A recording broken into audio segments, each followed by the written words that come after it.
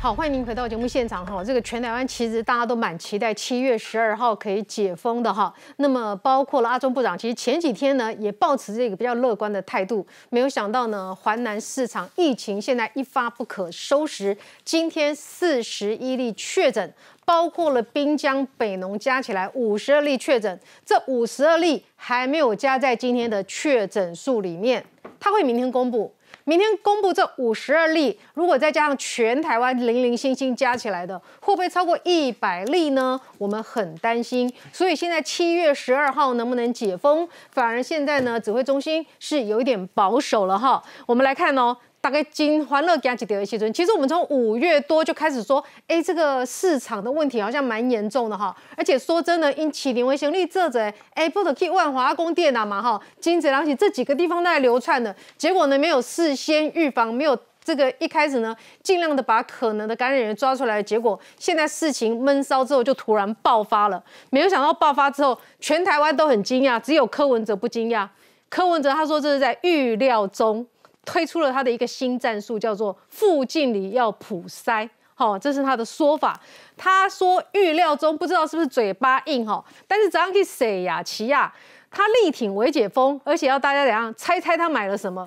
你有心情吗？你猜得下去吗？今天全台湾的夜市都等着要解封，等着你什么时候把台北市市场的问题给处理好？我们来看 V C R。今天的确定的病例哈，那本土病例五十七例。本土个案持续维持双位数，新增五十七例本土，十五例死亡个案。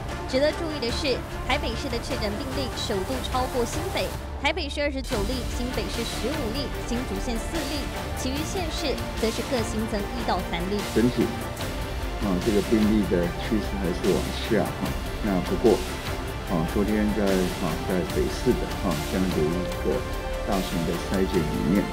还是发现了很多的个案啊，那这些都还不包含在今天的个案里面。针对华南市场事件，指挥官陈时中也强调，病毒不分你我，会扩大普筛来抓出黑数。但这一次事件会不会影响到七月十二号解封？陈时中这样说：还要等到一个哈，家那整个大家心情比较稳定的时候哈，再做这个哈。餐饮的这些相关的指引的公布啊，我们也准备的差不多了哈。啊，不过现在的时时机是不是不对哈？现在还是要来面对这波的疫情。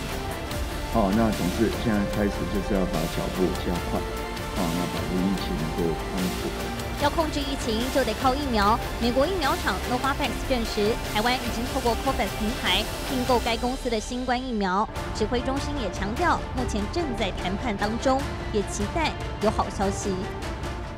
事实上，全台湾除了双北之外，其他案例都是零零星星的了哈。范老师，你快点，今麦台北市写的上严重的，台北市今麦是超车新北市啊！柯文哲昨天还去谁呀？去，你看了作何感想？他昨天去夜市。这是不是政治动作？这当然是政治动作嘛。嗯，你去夜市干嘛？你不用你去嘛，你找一个科长去看，哎，人潮怎么样？有没有有没有有没有啊？我们有没有管制啊？有有没有实名制？他去那边就是要就是一个完全是政治的想法。哎，你看我我台我们第一个开放夜市，所以说台北市他要给媒体来拍嘛。嗯，因为你去跟夜市的防疫有没有？关联性没有关联性啊！不过你柯文哲来了，我们夜市防疫又大就是强化了，没有嘛？完全是作秀。你昨天晚上应该是去哪里？你要去华南市场，因为华南市场今天要关三天，你要去跟这些摊贩解释哦。明天早我们要要，为什么今天一大一早这些这些摊商到了市场还不晓得今天要关门呢？嗯，所以该你去的地方你不去，不该你去的地方你拼命去，所以为什么大家都觉得到今天为止他还在做？政治的操作，我必须要讲，这如果到七月十二号，台全台湾还不能解，还还是三级的话，这不仅是经济问题，这是社会问题，这是政治问题，甚至是国安问题，因为我觉得这会影响到民众的信心。嗯，我觉得今天王必胜进驻之后，我们请全国之力，我我觉得至少我们现在知道那个货源在哪里，那货源就在这两个市场，我们请全国之力，不分昼夜。我们全国一起让共同努力，把我们所有的资源弄进去。我还是觉得七月十二号，我们还要保持一个乐观的心，因为我如果再拖下去，那个太严重了，太多人会受不了。嗯，所以我我我必须要讲是说，更何况何况双北以外的县市，他们是无辜的陪我们在受罪。六月三号是最高峰，二月二十二是二百二十四例，还往下走之后，关着做一件事情，每天三点半开记者会骂蔡英文，骂陈时中，骂的好过瘾呐！我的民调，我的网络声量全部起来了，然后看着新北的侯友谊在那边，哦，好好辛苦，因为当当本来一开始是台北的这个确诊多，新北少，后来哎新北上来，台北还变小了，他就。翘着脚，要看看你这个侯友谊这边累得半死，我就没事。我们每天都骂蔡英文，可是你那个时候为什么没有想过，这些万华阿公店的消费族群很多是来自于市场？嗯，他他不管，他也他也不去了解，他我相信他有这个情报，我相信他绝对知道，可是他就不去碰触这一块。所以我我不想讲，当六月四号 CDC 已经告诉你要赶快设快筛站的时候。快速筛检的时候，柯文哲、黄珊珊说什么？哎呀，摊贩不好找啦，他们没意愿啦，我们没办法勉强他们啦，让他们自己骑摩托车去剥皮疗啦，还是这种态度哎。然后到了六月十四号，北农已经确诊三十三例了，还叫大家自动自动自发，还在说政府没有强制力。你这个是这个就是你有没有心而已。嗯。你要动用你这个时候，但北农三十三例确诊都多严重啊？我们一个百货公司一个柜姐确诊，就全馆都关起来，你还在那边让那个火继续烧，所以我必须要讲，今天柯文哲，你真的行行好，你就不要再管任何事情了，你就安安，你就安安静静的支援我们整个，我们希望在六月七月十二号，我们能够看到曙光乍现，否则全民的心已经太累了。好，其实。这个台北市议员许硕华最近点的几个地方哈，他都点的蛮准的哈，包括呢北农啊、华南哈，他现在要丢出下一个问题，南保信义大安区。不会是下一个疫情风险区。他要求市政府尽快对牙医诊所就诊的一百二十七位来进行快筛。呃，信义牙医诊所有十六名员工，一百二十七名接触医师的看诊者，全部只要求做居家隔离而不筛检。另外呢，大安区的耳鼻喉科接触确诊医师三百多名，也只给一百多名做筛检，其他的要求他们自己做快筛。到底为什么市政府不愿意主动筛检？是要让信义大安成为下一个疫情风险区吗？结果我们发现这两个医师。诊所居然只相距了四百五十公尺，都在六张里哈。那么这个期间，如果潜在的确诊者会不会又把病毒传给其他的居民呢？刘耀仁也说哈，台北农自己号称有精准疫调，到底怎么个准法？居家隔离的通报，甚至有可能这个十天的落差。这十天如果是可能的，特别是最近阳性。阳性确诊者发现说呢，CT 值还相当的低，又会多传染给多少人呢？面对这些质疑哈，民众党也赶快做梗图了。他们是精准意调，天天做，侧翼口水天天抹。我不知道他们的意调精准在哪里哦。会这里的观察，还有七月十二号，如果真的不解封的话，会影响经济，真的很大。呃，像是淑华议员今天有特别提到，包括刚刚提到牙科的那个牙医师哦，他们有一百二十七个大概是接触过的人，但事实上呢，他们说这一百二十七个在最一开始的时间里面是完全没有经过快筛的，只要求他们自我居家隔离。嗯，那心里想说，天哪，如果说都已经到了四肢呃，已经发生到这个情况，你竟然还这样，没有想到另外一个就是呃，另外一个耳鼻喉科的医师隔四百五十公尺，这个是总共三百多人，三百多人里面他也只大概快。塞了其中的一半而已，所以现在你光看这个大安区、信义区，从万华区的北农华南市场已经飘，已经飘一飘了几多远的距离，来到了信义区。那个跟大安区都已经有发生这个类似的案例，你就知道现在那个因为台北市政府的盖牌，导致现在台北市的疫情可以说是十二个行政区都开始还是在再度卷土重来的情况。而这一次在北农，尤其是华南市场，今天出了一个更劲爆消息，真是让大家惊呆了。什么情况呢？今天上报的这篇独家报道特别提到什么？原来。华南市场的案例，早在五月九号都已经出现了第一起案例。这个报道还不是写据了解哦，人家是非常清楚的，有名有姓。他是采访谁？他是采访华南市场自治会的会长林胜东哦，你看，在我画这个红色这个地方，他说呢，其实呢，早在五月九号的时候呢，华南市场就已经有第一起了这样子的案例，而这一起的这一起案例的时候呢，当时并没有被啊列为是华南市场第一案例，台北市政府所公呃官方所宣布的第一起案例，竟然是隔到了六月十一号，另外一个猪肉贩的一个卖肉贩肉的一个摊贩，他才把它。归成第一例，但是早在五月九号这一例算什么呢？台北市政府从头到尾都没有说。然后现在这个呃，大概隔了一个月，也就是到了六月十一号，台北市政府才说哦，我们华南市场出现了第一例。这已经到五月九号晚了一个多月，一个月又两天，结果到现在都已经到了七月二号了，华南市场才举行大规模的 PCR 快筛。那大家还记不记得？我帮大家这个呃这个提醒一下。早在六月二十三号的时候，陈时中部长是不是在清晨四点就去看了台北市跟新北的总共三个市场？他当时提出的第一个建议是什么？尽快进行全面性的大规模的 PCR。他说，你如果还要先快筛再做 PCR，这样太慢的。他建议直接做 PCR。结果柯文哲说什么？哦，不需要。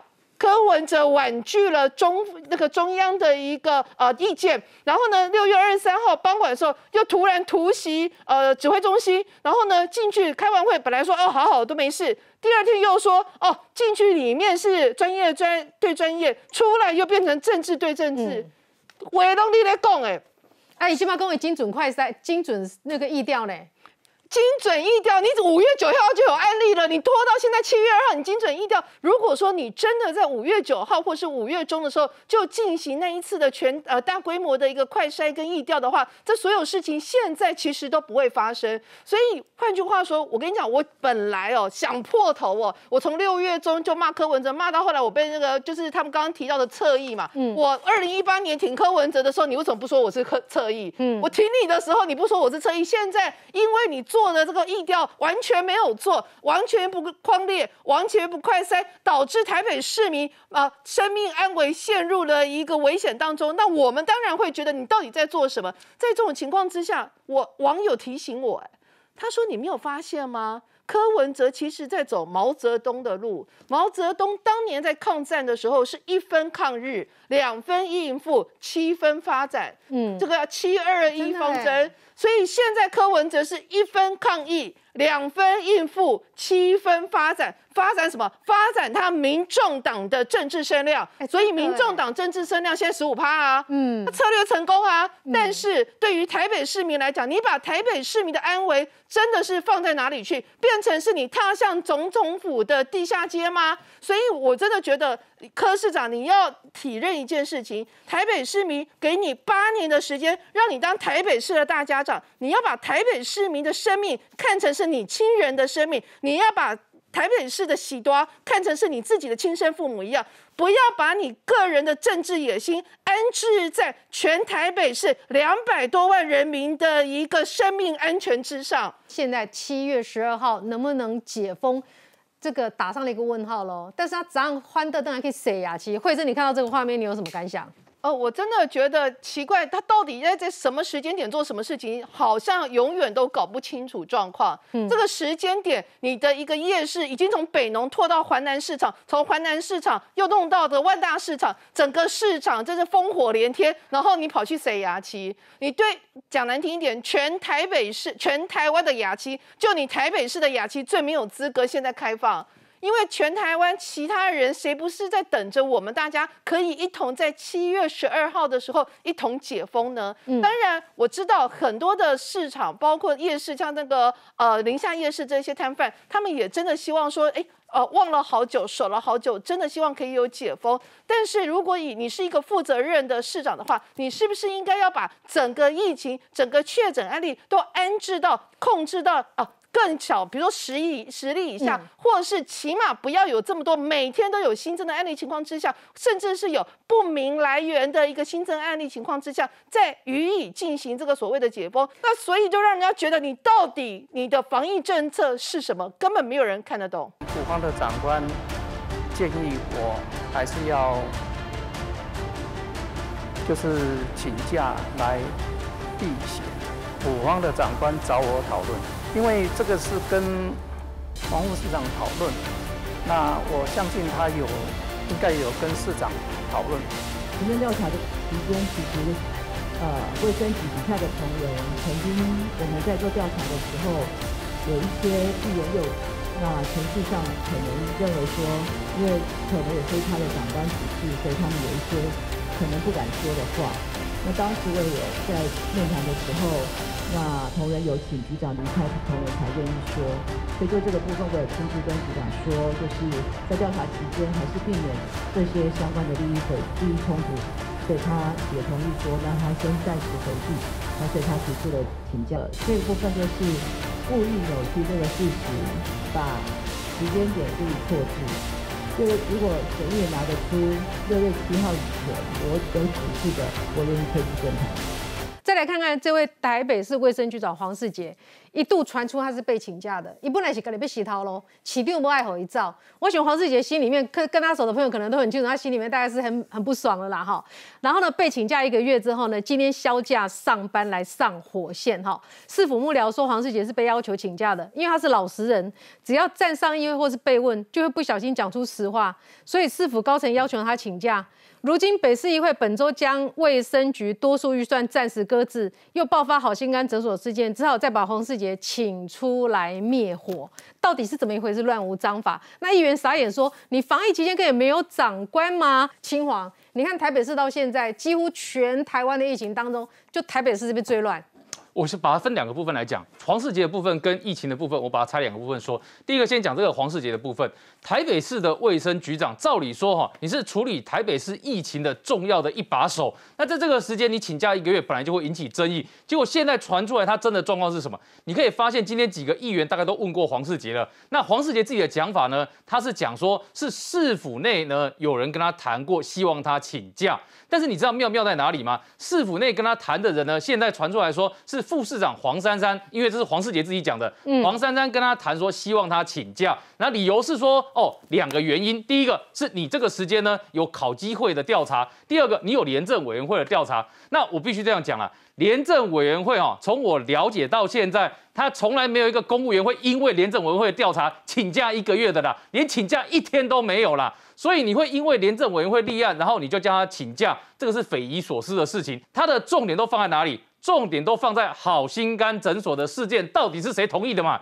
所以这就是为什么整件事情你会发现追到现在，不管是丢了 LINE 的讯息，丢了什么东西出来，其实对于黄世杰的位置来讲都很敏感。为什么？因为你如果要说他都不知情，这个很困难。但是如果他知情的话，请问是谁指示他这么做的？那对我在看这整个案子来讲。黄世杰看起来就很像是一个断点的存在啊！他这时间不管是被请假或是被请辞，对于整个局势来讲都是最好的。而且各位再去看一件事情，之前为什么柯文哲市长的市政府会去提到高嘉瑜的事情？高嘉瑜是传赖给那个黄世杰，黄世杰就把那个疫苗给发出去了哦。所以你可以发现他做的角色很像什么？很像选民服务嘛，所以我说像这种类型的角色的事情呢，对于台北市政府来讲，他一定有一件很敏感的事情是跟黄世杰有关的，所以这也是为什么他会有这种所谓的被请假这件事情传出来。那第二个，我还是要回到刚刚在讲防疫这件事情。那刚刚慧敏有提到说，哦，这个你可以看得出来，台北市政府的防疫是没有章法的，这个部分我同意一半。为什么？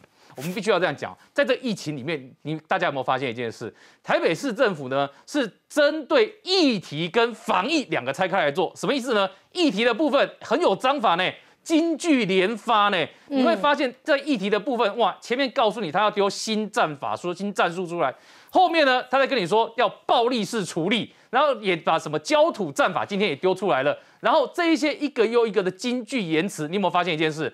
抢占新闻媒体的焦点都很好用，包括我们昨现在在讨论的，昨天他跑到夜市去这件事情，我们在看的时候觉得不可思议啊！为什么不可思议？在台北市的确诊案例里面，即便以今天来讲，它都还是有十几例以上的感染源不明，也就是说黑数了。这些不是因为你把它框列起来之后呢，在你框列隔离期间它发病的。他是呢自己身体觉得不舒服，然后我到诊所，我到医院，我到这个快筛筛检的地方，我才筛检出来的。所以像台北市还有这些黑数存在的时候，还有不明感染源存在的时候，你就贸然的做夜市解封，对大家来讲都是不可思议的。但他也是做了，不但做了，而且你会发现什么？哇！对于柯文哲昨天到宁夏夜市这件事情呢，民众党相关的人呢，大家都把它当做政治上的宣传操作了一圈啊，操作成什么呢？说你看，只有柯文哲讲的话会让人家心里感到温暖，只有柯文哲考虑到民生经济。但我们去给大家看一件事情哦，秦王，你有感到温暖吗？我没有感到温暖，为什么？因为我们要给大家看这个手板上面的资讯。嗯，你去看柯文哲前面讲的话跟后面讲的话有什么不一样？各位看哦，这个柯文哲在之前怎么讲呢？他之前说，这个对于解封这件事情呢，柯文哲心里也有答案。若要慢慢解除管制，将以不吃饭的场所优先开放，所以是美术馆、电影院优先开放。这柯文哲之前讲的哦。嗯。那现在是怎么讲？现在的讲法是说啊，这个。你要考虑它对于民生经济、对于整个老百姓生活最有影响的优先处理，所以呢，北美馆我们就还没开放，所以呢，夜市呢就先给它为解封、为开放。那我请问你，前言不对后语，前面跟后面都是柯文哲讲的话，我请问你，柯文哲是以哪一个作为科学标准？所以很明显的，科学标准不是他最优先的考量，他在议题的操作上面。是以他的声量跟政治上面做考量，所以这也是为什么我们说他讲的很多金句非常的多，但实际在做的部分呢，你会发现呢，会让人家觉得乏善可陈，而且会让人家很多质疑。好，清华，你刚刚慧珍讲的这个哈，我觉得蛮有意思，就就是柯文哲、柯师傅一分抗议，七分在壮大自己，确实在这个过程中他蛮壮大自己的了。那你常在网络搜寻的哈，我想请问你现在年轻朋友们，这个在这个柯文哲壮大的过程里面，出了这几个包之后，目前他在网络的声量当中有没有稍微受到一点挫折？因为做民调要比较花时间，民调还没有显现出柯文哲比较往下掉的趋势。那在网络上的即时声量呢？他们网络上的声量还是高哦，我们必须要讲哦。嗯，它其实你会发现，它这一串的操作以来，它网络声量还是高，但问题是在网络声量中的它负声量的比例有没有增加？有没有？那你可以发现，它其实它第一个破口是在哪里？第一个破口是在好心肝事件里面，好心肝哎，特权施打，你知道？对于柯文哲一个在二零一四年选举的时候主张透明公开这样的一个政治主张来讲，你这个特权对他来讲是多大的冲击？所以好心肝事件是他第一个破口。那其他其实后面的破口是什么呢？他其实后面的破口就是让大家发现北农事件里面你没办法控制。那到后来到今天呢，真正最大的破口是在这两天的时候。大家发现不但没办法控制，哎，前一阵子你还可以勉强交代说案例数在往下降，对不对？那今天的状况是案例数不降反升呐，而且明天看起来还会比今天再再增加。那所以你就会发现，那你对于整个疫情的控制，之前有点像处于什么？打迷糊仗的情况，哎，就是那些黑数怎么跑，你不知道。所以我请问你，对于这个状况来讲，会不会反映到那个我们讲的声量里面？会，而且昨天同时还加了一个 ban 的事件，就是黄珊珊的赖的事件。嗯，因为那个赖的事件，大家发现说，哎，黄珊珊的友人，然后跟好心肝诊所的连接就是一个 ban，这黄珊珊自己讲的嘛。嗯，结果呢，大家发现 ban。是一个非常强大的许愿精灵，为什么呢？因为呢，你看哦，就黄珊珊，即便说被跟他之间呢，这个既有联络，但他没有答应，可是你都可以发现，这个。被许愿完之后的隔天，他都能够得到疫苗哦。所以好心肝诊所第一批拿到了这个十五瓶，第二批拿到了一百瓶。黄珊珊说：“我都没有答应他，但是他真的都都如愿拿到了哦。”嗯，所以人家说 Ben 是全台湾最强大的许愿精灵呢，就跟那个神灯里面跑出来的一样。所以大家都想要认识 Ben 这个好朋友。所以这也是为什么从昨天到今天跟 Ben 有关的梗图做的非常多，然后传的非常的多。所以你看他声量会不会高？当然会高，但问题是负面的声量从变的事件你就可以看得出来，占比也越来越高。好，其实很多人选了柯文哲之后，就会觉得说没关系，我只要按部就班，我只要我没有关系，但是我还可以循正常管道哈来做事情。但是呢，经过好心肝事件之后，我们发现高家局一通电话，十分钟之后，好几瓶这个疫苗就到了核心诊所。黄珊珊她说她没有回背，可不可以？她没有答应什么，但是只背才不过一个赖过去，好心肝拿到的是一百一十五瓶。振兴医院里面的背又是谁？我们来看 VCR。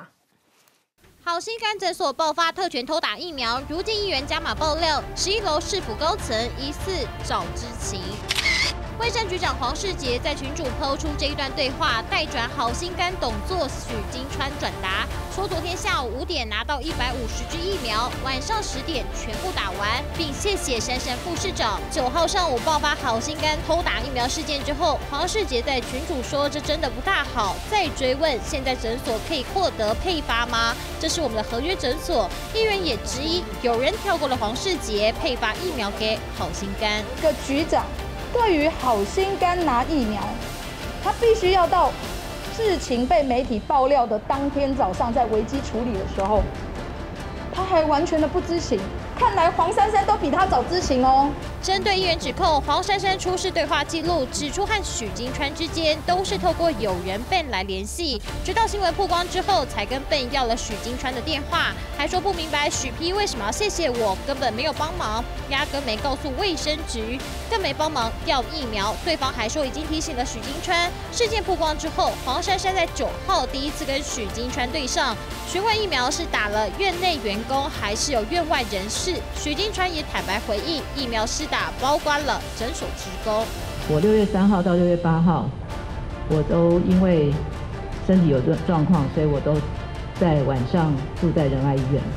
那白天我都有回来上班开会，但是晚上我其实都在医院休息跟打点滴。所以六月八号这个讯息来的时候，我根本不知道有这件事情。澄清好心肝配给疫苗跟自己没有关系，但特权疫苗争议延烧，部分施打对象未符合一到三类规定，是否寄出两百万罚款，并撤销疫苗合作诊所资格。随着内部群组曝光，双方指控各说各话。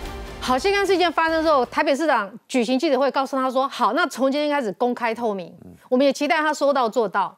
那你可不可以告诉我，整件事情的 Ben，整件事情的高嘉瑜到底是谁？”好，这个简书培这个爆赖爆把那个赖内容指出来，说好心肝所疫苗是要谢谢黄市长的，黄副市长的。黄珊说没做事情不要栽在我头上。好，所以这跟黄副市长，我如果我相信他的话，这跟黄珊珊没有关系。那黄世杰又扮演什么样的角色？这个局长黄世杰呢？发生事情之后，黄珊珊建议他避嫌要请假。嗯，那你的公开透明在哪里？你的公开透明在哪里？难怪现在就是大家就开始嘲笑你嘛。来看哦，这个本来是柯文哲要找他当选举发言人的史书华牙医，邪教组织越来越强大了，泡茶是要泡他自己来哦，改变成真，嗯，不是我 英文不好，不是我，不是改变成真，是改变成真哦。好啦，这个孟买春秋，请问珊珊副市长可以协助我吗？我不贪，不用一百瓶，一瓶就好，我可以选莫德纳的吗？然后这个民众党的上面就变成一个 ban，又被耻笑了哈。再来看这个。呃，陈时中来电的时候，他就 say no。你有一通 Ben 的新讯息哦，他就 yes。比阿中部长厉害的男人 Ben，谁能让珊珊愿意拿起手机 Ben 创下？其实现在有一个话叫做“打针不难，改变成真”，对不对？所以呢，只要改变的话呢，所以现在我们很多人都想说，要不要改名字叫做 Ben，对不对？也许就不用排到那么后面去。可是其实今天的这个状况里面。确确实实哦，你会担心的是台北市的防疫，因为防疫的最主要部队就是卫生局。嗯，所以只要黄世杰讲说他是被请假，他要看一下那个赖里面，搞不好是 Ben 不是黄珊珊，是叫他要请假的人，也许是 Ben 不是黄珊珊。可是你们今天有个状况是什么？你会这个东西会出来，代表着卫生局里面情绪已经是达到了极点了。为什么会是这样子？他是讲说是六月早号九号，就是八号的时候，好心肝出事嘛。九号的时候，八点到九点之间，在一百一十八个人里面的卫生局的群组，这是一个内部对话，而这内部对话也就只有他们在自己内部。可是到了现在，为什么？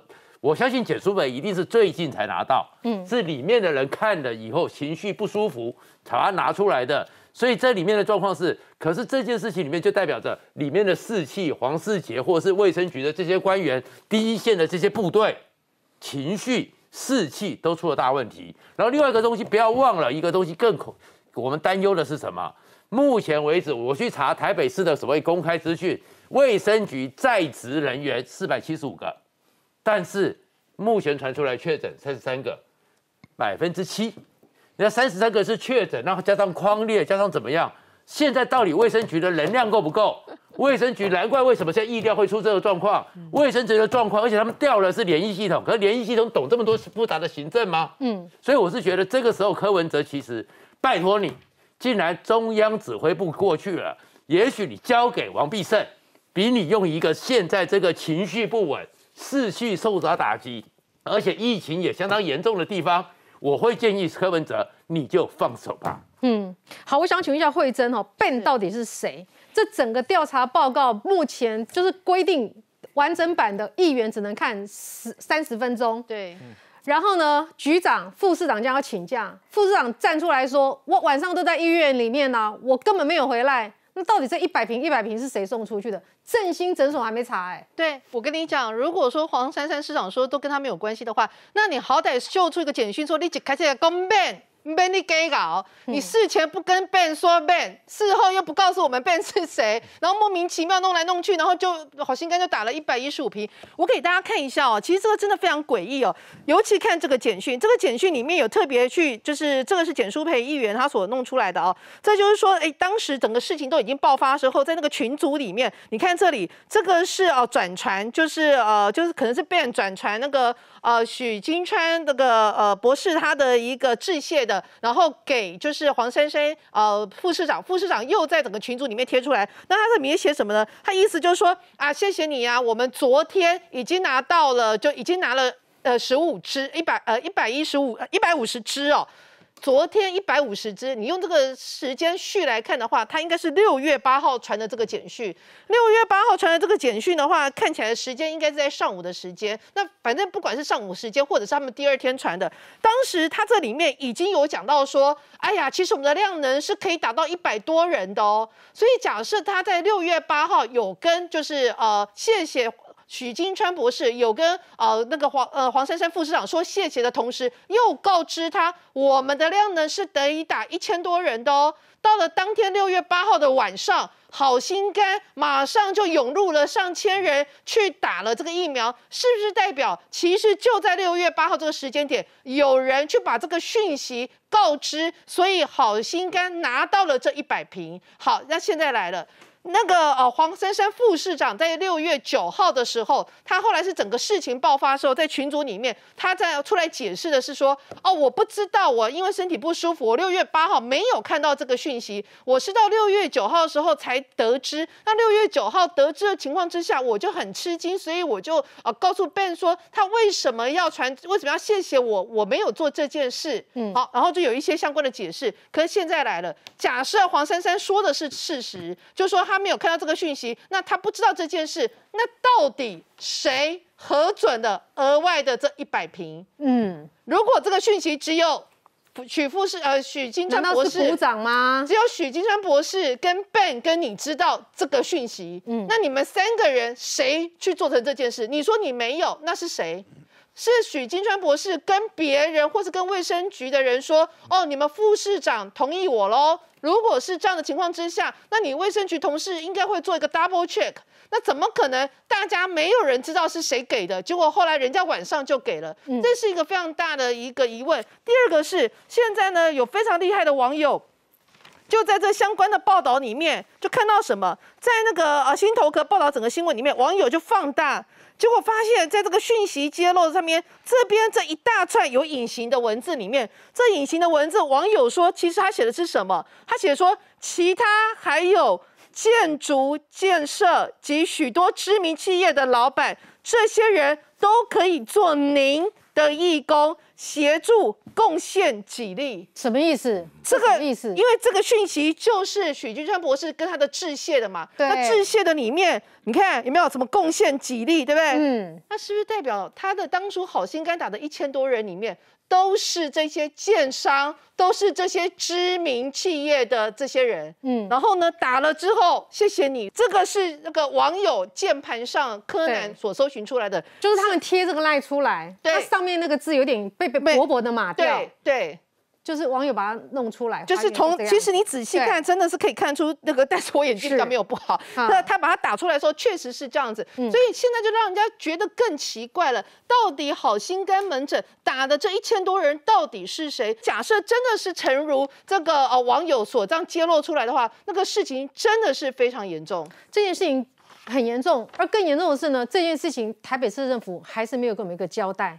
还是没有说清楚，好，这个律师有讲的哈。如果说这个对话这个真的查下去的话呢，柯师傅恐怕涉及犯五年以上的重罪。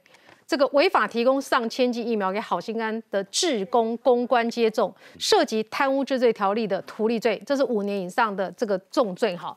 那么火烧到黄珊珊这边了，黄珊珊她今天说拿得出证据，我愿意退出政坛来输牙哈，我们也不需要你来输牙再退出政坛，你只要告诉我真相是什么就好了。至少告诉我们 Ben 是谁嘛，对不对？真相是什么？你在核心诊所这件事情里面，你丢出了高嘉瑜；你在好心肝事件里面，这个 Ben 你还没有告诉我是谁。振兴医院呢？振兴医院到底打了几瓶给不是真正的第一类？好，那更何况哦，你看黄珊珊、陈世忠来电的时候他不接，其实而且他他是不是说陈世忠没有良心还是什么？我记得他有说过陈世忠没有天良什么的，他把陈世忠视为这种人。那建雄的台湾狼的詹亚，陈时中这么努力帮我们守住，没有功劳也有苦劳，更何况他是有功劳。现在真的很辛苦，也爆发了疫情了。你赶公啊叫拍天啊，然后 Ben 的电话呢？你说你没做，然后呢？好心安就得到那么多的这个了。所以狼哥开玩笑嘛，哈，我们公司团队需要精英分子，你有什么特长或特殊背景？他说我认识 Ben，好了，他就录取了。大概是安利开玩笑，但是大家是很痛心的。我想要请问一下罗医师哈，你看到这台北市这样的做法，整件事情，哎，台湾疫苗是很充沛，是不是？我们七十二岁以下的长辈都还没打到，哎，我们七十二岁以下的长辈到现在是还轮不到的，哎，逮不起疫苗满天飞，到到处卡，到底到底是谁随便乱发疫苗的？黄珊珊说，拿出证据我就退出政坛。叫局长请假，那是谁决定的？要推给卫生局的股长吗？全台湾都很知很想知道说到底 Ben 是谁，却不知道。打一个比方哈，如果有一个人哈，他走失了，结果海巡署抓到了，就问这个船长说：“哎，你走失是不是？”他说：“我不知道呢，我船就开到那个海中央哦，那突然有人就把他船开过来，就把货丢上来，然后我不知道怎么样，他就跑了，不认识这个人。结果我回到岸上。”我货都没有动，就有卡车过来把他载走了。我从来都不知道怎么来的。疫苗就是这样子啊，怎么开始的，怎么结束的？可是问题就是有特权施打发生。所以这件事情呢，我觉得一定要把它讲清楚。我刚刚讲法律是最后的底线，可是我们期待的不是这个问题。那我们讲一下说台北市现在发生什么状况？各位，从五月九号开始就有确诊个案，在一个市场里面一直烧。烧到现在已经到了七月，很多很多个案，这个叫做什么？环南市场。那我们记得去年疫情开始的时候，应该说是前年吧，在二零一九年十一月的时候，在我们邻近的国家，他们有一个市场叫做华南海鲜市场，它也是很多人在里面确诊都没有讲啊。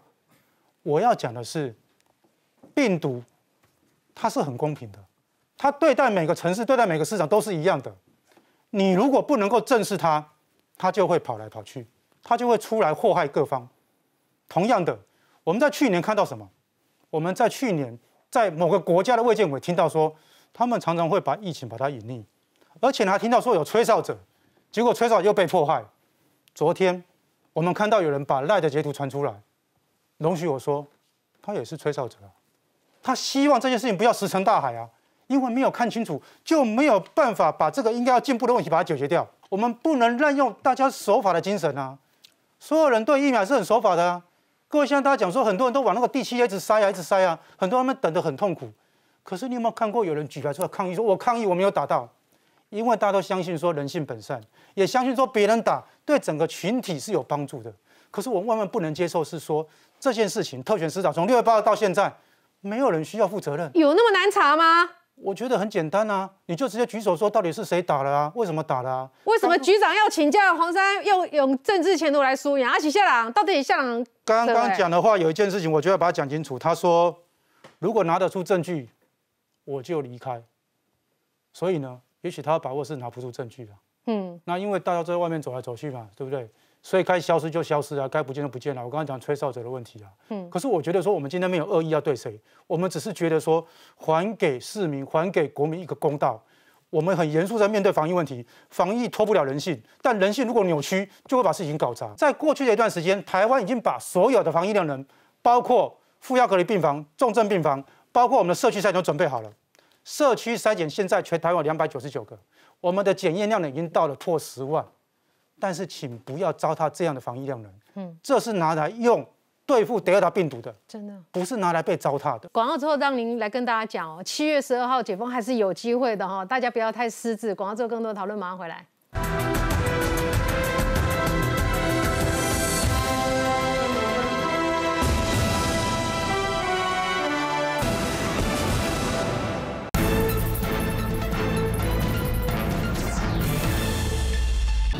结果大约三天后，排队等候筛检 PCR 和快筛同时进行。虽然疫情逐步趋缓，但现在台北市环南市场大规模筛检却验出四十一人 PCR 阳性，不少网友直呼惊呆了。双北市民是否普筛，再度引发讨论。如果你真的坚持要大筛特筛。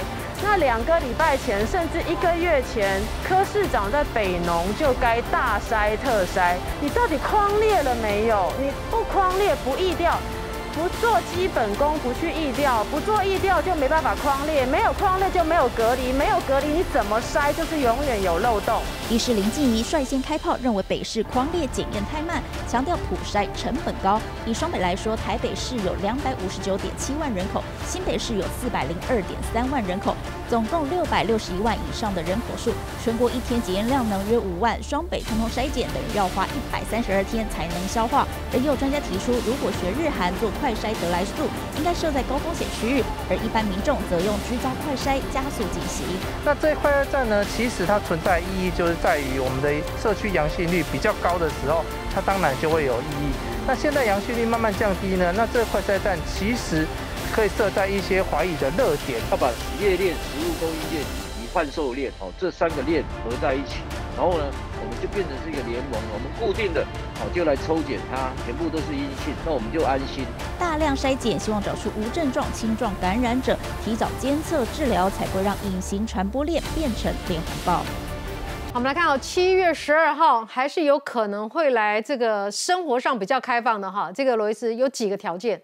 呃，我觉得呢，其实我们回到它原来的一个定义了哈，就是说我们说三级警戒有什么样的标准？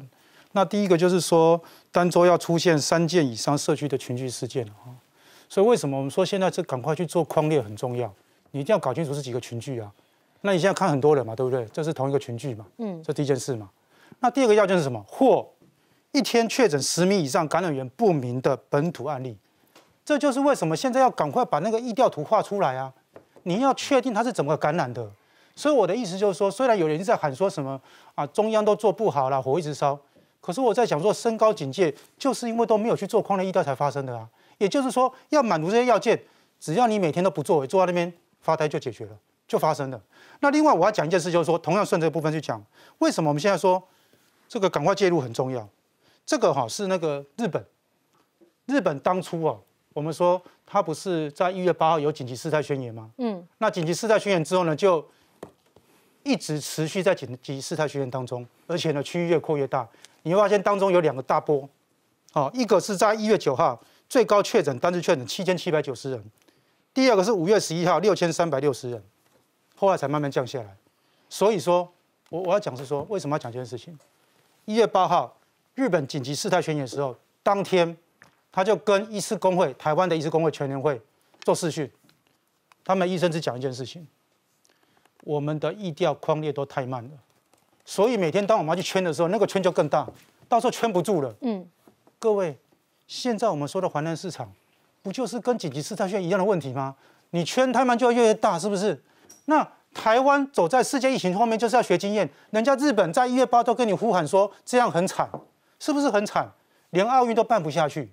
所以我的意思就是说，全世界我们该做的防疫都是一样的。现在去做这个努力，是因为其他国家已经犯了这个错误。那他们总共花了多少时间？到现在，日本一天都还有一千多人确诊，所以很很惨的事情。回过来看，我们这次的机会是一个重要的契机，要把握。嗯，中央跟地方大家团结一起来，我们希望把疫情守住。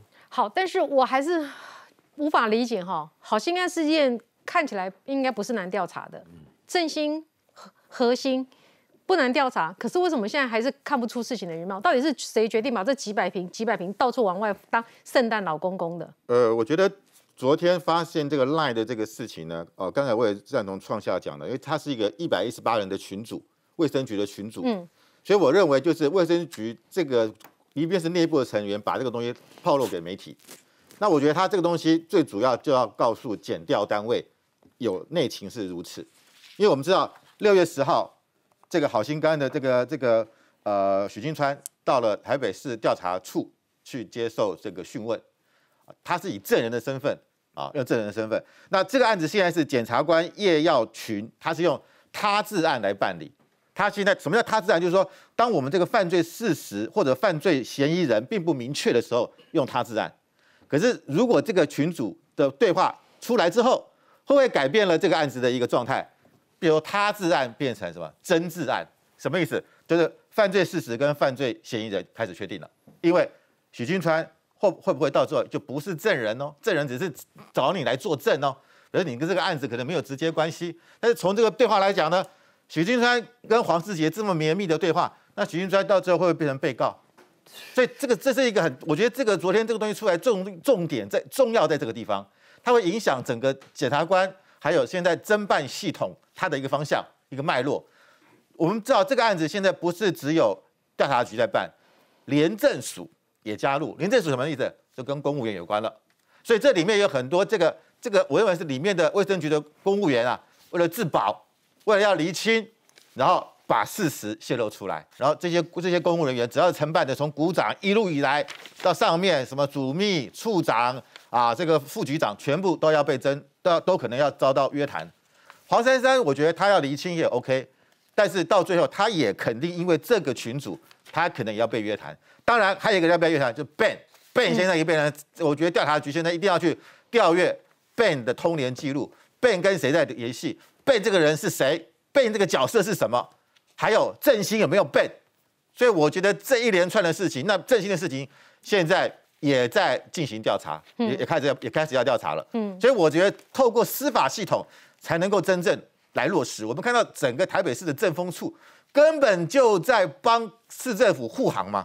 哎，你政风处，你是你你虽然是台北市政府的一个处，可是你的这个处长的任命，你是直接归法务部廉政署，你在你在你是你等于是连法务部派驻在台北市政府的单位，可是你这个政风处，我们看到你的报告，你不但里面基本上是避重就轻，然后呢关键的事情都没有，也没有变啊，也也然后好像把这个只只只到黄世杰，然后也这个系统交代不清楚，我觉得这个然后还要司仪员去看。还限制人家半个小时看，还不敢拍照什么的。旁边两个正风室的在旁边监监控，那搞什么东西？我所以我比较想说，交由减调来办，那大家就可以随赶快尽速约谈。那我必须要讲了，那些打的人，我看现在也是惶惶不可终日，因为因为我要确认你到底是不是有打。嗯，那甚至就是有没有涉及到伪造文书的问题。那再来，我我认为好心肝是一批人，另外一个振兴那个才更精彩。振兴里面，我们可以看到有很多啊，丁守中也打啦。那我们他的董事里面还有谁？还有陈长文啊，啊，陈长文有没有打呀？那些蓝营的权贵有没有打？啊？嗯，连连连连连连连战打了，连胜文有没有打？连胜文的太太有没有打？很奇怪，你看连胜文最近都没有声音了，我不晓得为什么。嗯，所以你就可以看出来，就是说这个东西那才是真正的政商的一个关联。那我觉得他们现在可能也蛮担心的，打了这一针。会不会啊？这个到时候被约谈？那我必须要讲啊，现在振兴也好啦，好心肝好，你们千万不要想要动歪脑筋呐，什么要把那个大师打的资料把它摧毁掉，或者把证据湮灭掉。我跟你讲，如果是这样，那事情更大条。我觉得被私打的人是一回事，而是市政府怎么会放任人家这样打？哎，很多基层的诊所嗷嗷待哺，哎，对，这这这是这个告气给接了怕。这个这到时候要调查，就是说你资源非这个角非常有问题。你这角色怎么谁决定？对，谁决定资源分配的？谁谁在里面扮演什么样的关键角色？这都要一一厘清。所以，我我觉得包含他的卫卫卫生卫卫生局长啊，这个黄黄世杰。他为什么这个时候？我觉得柯文哲，你就让他辞职嘛，他干嘛请什么假啊？请完假，今天要要要要要休要什么？又又把假条撕掉了吗？因为现在疫情烧起来了。那你干嘛请假？你你这个很奇怪。他被请假的，他自己承认黄珊珊叫他请假的。哎，黄那黄珊珊叫他请假，他就要请假。这个你是你是你你是公务员，你又不是傀儡。哎，人家要你请假，那请问你有什么理由叫我请假？那有事情请事假，而且黄珊用他的政治生命跟你赌注，整件事情跟他没关系啊。那到底是谁决定的？这么简单的事情，而且呢，你知道黄珊的记者会，曾经记者会当中，就我们看看这个市市长 Kiss 雅琪也没来啊。整件事情到底谁决定？因为柯文哲下令要今天要打完，尽快的打完，所以那个是政策上的错误。但是办这件事情，那就变成是可能是要主动侦办的事情，因为这里面涉及的是请托，然后请托之后造成了一个公共资源的扭曲运用。嗯，所以这个时候跟前面只是因为柯文哲的一个命令，公务人员为了达成那个命令所出来的效果，跟现在有人请托，然后滥用资源。这个红旗就不是他治案，应该是真治案了。你你有没有发现台北市很好请托？对，高嘉瑜一同等位找婚金的过来管。第一名情节是被呢，被个卢厉害。疫苗在台北市是第一名，是不是？来。清华，而且我觉得好心肝这个事情，基本上呢，刚刚有讲说是卫生局的官员应该是不想再背锅，因为我听说那个股长的情绪是真的很崩溃，因为他到正风去的时候，真的是就一路哈，就是跟着正风这样子被约谈到晚上十二点多，那他情绪很崩溃，他觉得哎，我以前发疫苗也都是这样子啊，但你去注意一件事情哦，他讲说他以前也是这样的时候。他其实没有特别讲的是，那请问他有没有长官交代他什么事情？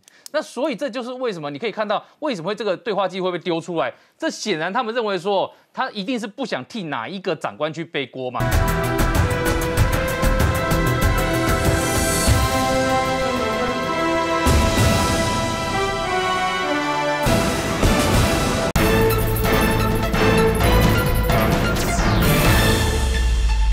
那我再给各位再看一个，这一样也是最近的事情，你去看哦。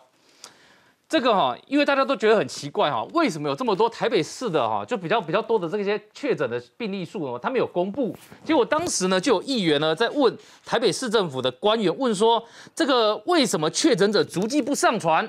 那这件事情你知道官员怎么回答吗？官员回答的方式是说，府内的高层说二十人才公布。后来台北市政府发言人又出来讲说，不不不，不是二十人以上公布，是二十人以下才公布。但不管二十人以上还是二十人以下，我请问你，不管哪一个，你定哪个条件，这算不算盖牌？然后第二个讲这个话的人是谁？你去看，讲这个话的人是卫生局疾管科长余灿华。那他呢，则是被议员问了很久之后，他才告诉你说，这是府内高层定下来的。换言之，对他们来讲，这些锅人家也不想要背了嘛，所以他就把它讲出来。而刚刚我们是不是有问到一个问题？就七月十二号这件事情，微解封到底有没有希望？那告诉大家哈，这个我们发现呢，柯市长有学到的课程呢，大概就有希望了。为什么呢？因为刚刚最新的新闻是什么？各位来看一下，柯市长历经北农事件到今天哦，你看这个筛大量 PCR 开始筛了之后，筛出这么多人出来了之后呢，柯市长得到的结论叫做。跟教科书写的不一样，我想打人啊！跟教科书写的不一样，两个事情。第一个，柯文哲市长说，他没有想到无症状的黑素的感染者这么多呢。他认为说，在台北市呢，我问你，教科书有没有写 COVID nineteen 啊？他的教科书，我觉得应该还没有 COVID nineteen 这个字出现。但是呢，你会发现这句话出来的时候，应该很多台北市民很怒，因为第一个，他说台北市的无症状的黑数增多，他认为社区里面可能潜伏了不少。第二个。他讲了一个很重要的事情，他认为说他以前教科书上学的时候学到什么呢？他认为说他以前学到的时候，主要感染源在哪里？在医院呐。但他这一次发现，反而是市场变得特别多，因为经历了北农事件。那我想请问，如果你是台北市市民，你听了会不会很生气？会。